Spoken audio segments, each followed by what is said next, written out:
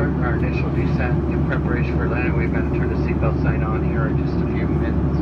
Uh, actually, the seatbelt sign is on. Flight sets will be collecting and remaining service items that are out from our service.